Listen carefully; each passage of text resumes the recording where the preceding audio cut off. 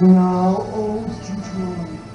just before dawn, through a silence you feel you could cut with a knife, announces the cat who can now be reborn and come back to a different